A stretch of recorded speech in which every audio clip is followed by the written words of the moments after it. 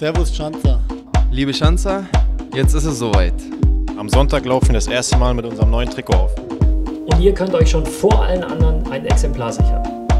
Das Trikot wird am Sonntag in der Stadt versteckt sein.